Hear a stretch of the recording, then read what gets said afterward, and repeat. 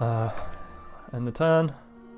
Son of a bollocks face. Son of a bollocks face.